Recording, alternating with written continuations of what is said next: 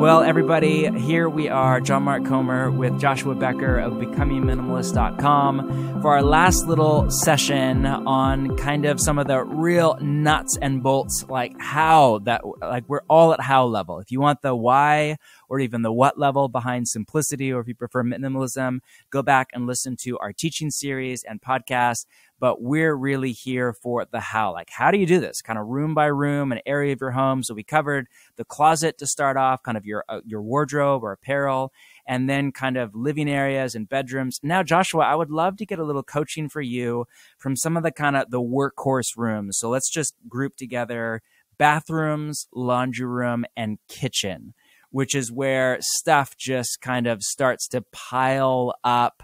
And we have, you know, often duplicates of all sorts of things from extra sheets for the spare bedroom to spatulas or whatever. How would you like, all right, let's say somebody has gone through their closet, gone through their kind of living area to get rid of that extra vase or bookshelf they don't need or put away the records or donate that old DVD collection, gone through the bedrooms and got the TV out maybe or whatever it is. And now comes, all right, the, the kitchen where, you know, the average person has some insane, uh, over a thousand items in the average American kitchen. And that's just like, that's not for rich people. That's middle of the board kind of stuff. How, where would you start with bathrooms or laundry room or kitchen? What order? What coaching do you have for us? Uh, I would tell people to start in bathrooms. Uh, I've I've found the kitchen to be really intimidating. I was very nervous about decluttering the kitchen. Um, the the bathrooms I think were a little bit easier to do. There's a little more hey straightforward. I use this. I don't use this. Um, I I could kind of feel in a in a decluttered bathroom like it it feels great in the morning to get ready and hey this is much easier this is much more efficient. Um, this feels good uh, in the morning as i'm getting ready or, or getting or it's more calming as i get ready for um, for bed at night. So um, bathroom and laundry are probably a little bit easier for people than the kitchen. Got um, it. For the uh, uh, for the kitchen, I I forget where I stumbled upon the article, uh, but I would send everyone who listens to this to go read it. Hopefully, you haven't used up your allotment of free New York Times articles yet this month, uh, or you have a subscription. but there is a New York Times article, years old by now, uh, and it is called A No Frills Kitchen Still Cooks. Uh, a No Frills Kitchen Still Cooks is written by Mark Bittman.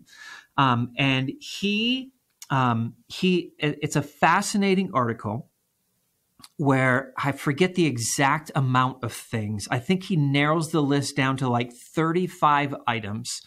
Uh, and here he is as professional chef, and he says you can make pretty much anything made in any of the finest kitchens in the world if you own just these 35 utensils. And he lists them out in, in incredible detail. And I I read that article. I was deathly afraid of doing the kitchen. And I, I printed out the article and I took it into my kitchen and I pulled out all of those 35 things that he listed and I, I set them aside on the table. And then I looked at how much stuff I had left over in my kitchen, like drawers full of things and cabinets full of things and a pantry full of things, like the egg yolk separator and the I, was making like the the awesome blossoms back then, like a, an onion cutter and deep fry and like all this, all this stuff. And I said, okay, according to Mark, I don't need any of those things to cook all the things that I cook. And to be quite frank, my grandma, who was a better cook than than most anyone I know, like she didn't have any of these things. And while I kept a few of those things going forward, it gave me like all the freedom in the world to begin saying, okay, I can get rid of this and I can get rid of that. And it was just, uh, it was a very helpful, very practical article that that I read. Yeah, you make the point that most of our grandmothers or grandfathers cooked more often than we do and better than we do and had a fraction of the kitchen utensils and such that we have today we think like we uh, man it's just marketing right? Like we get sold all these these things that we need and it's going to make everything easier and it's going to make it more convenient and you're going to enjoy making all these uh, things if you have all these different utensils. But i have found that there is i did not love cooking uh, until i simplified my kitchen. And I, I just found that there is a, a joy in knowing what the tools are that i have uh, knowing how to use them, um, not looking to shortcut the process, but learn how to cut vegetables with a knife as opposed to dicing it with some pampered chef dicer or something like. I, I think when you when you limit it to to just the essential tools, I have found that that cooking became far more enjoyable. It it became something that I began to enjoy the process of rather than just something I was trying to get through to get to the eating part of the meal. Um, and I, I don't know if I know how to explain it other than I just began to enjoy the process um, much more when I began to simplify the tools in my kitchen, which I never would have expected. Yeah, you know, I've been learning to cook over the last, I don't know, five years or whatever. And I'm a bit of a slow learner, but I'm loving it. Just loving to cook the family dinner on a regular basis and kind of split the cooking duties with my wife. We also love to cook together. And you're right, as I think about it, as I'm reading your list here from that article, man, it's just such a small number of items that I use over and over and over again. It is not, maybe that's just because I'm not, I'm not even close to ninja level as a chef. I'm very basic, but man, it's just a small number of items that you use. Do you have any kind of big picture rule of thumbs, like for whether it's for the kitchen or for laundry room or linen closet or bathrooms? Like I know you write about a, kind of a, a rule of thumb of avoid duplicates, and that was so helpful for me, even to think about you know, say the the sheets or the linens on our bed. Like we don't need two pairs. We just once a week, every Thursday, we strip the bed in the morning, and that's the day we clean the house and wash them, put them back on before we go to sleep that night. We don't need two pairs of sheets, you know, we just need one. That's plenty for us. So, you know, some of those kind of any rule of thumbs like that, or you want to elaborate on that one?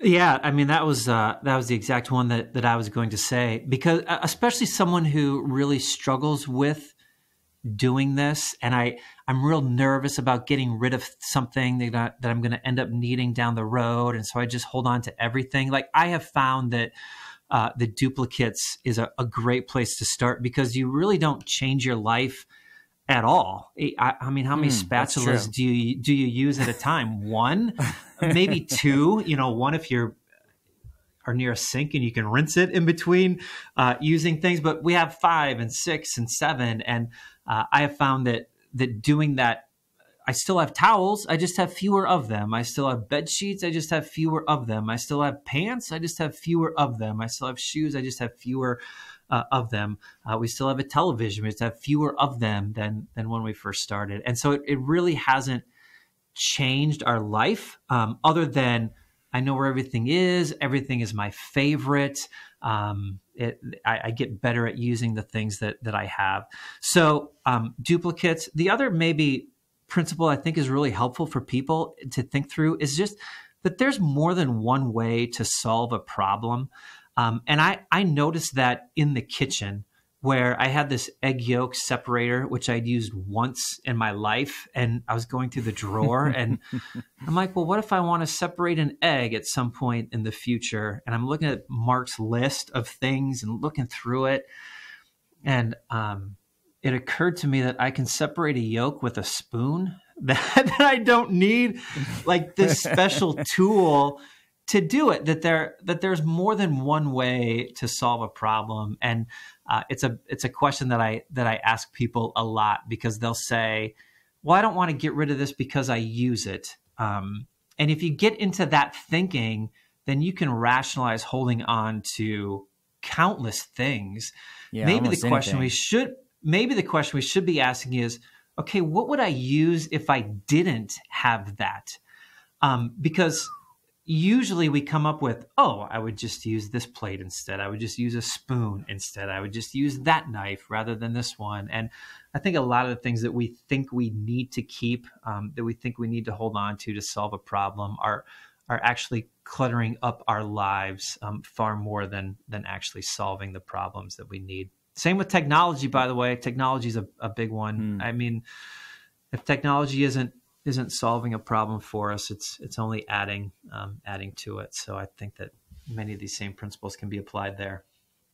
Yeah, that's true. Famous last words for "I want to be minimalist," right? Is just uh, I might use this later or whatever, or I, I could need this later, and you know, and again, some of that is a very middle class way to think about it because you might have the means if it's something cheap, you know, to rebuy again should the need come, and so obviously I have a high level of awareness for that, but I really appreciate your, you know, what what if you were to flip the question around from do I need what could I need this later to how else could I accomplish the purpose? And again, you're bringing us back to really one way to think about what simplicity or minimalism is is just a high degree of intentionality and purpose behind your living at every aspect, including just the things that you allow into your home. You got it, man. This has been wonderful. Thank you so much. Yeah, for, thank you um, for your conversation. Thank you so much for your time. Any closing words of whether advice or inspiration, just anything kind of you would say in parting to Bridgetown Church and anyone else listening? Man, I would I would just remind everybody that something you already know to be true that that your life is too valuable to waste chasing and accumulating material possessions uh, that there are far more important things for you to be pursuing and accomplishing. That I, I don't think anybody thinks uh, about their greatest goals in life and and thinks I just want to own as much stuff as I possibly can. Uh, we uh, we want to be um, we want to be we want to be followers of Christ. We want we want to accomplish what He's called us to accomplish in life, and um, and and the way we do that is um, by man by by directing our our resources towards him um, because uh, chasing the things of this world um, always um, always fades and perishes and spoils. Yeah. So well said. Thank you joshua. Again for those of you listening becomingminimalist.com is joshua's website which is just a library with a wealth of information and articles from the last 12 years of his work and then uh, his most recent book, The Minimalist Home, is is the best kind of all in one place. I know step by step guide. Literally goes room by room. We are just scratching the surface. He literally goes, here's your linen closet, here's your laundry room, here's your garage, here's your home office. Here's it's just fantastic. So if you want to chase it down further, all of that's available for you. Joshua, thank you, and to all of you listening, peace.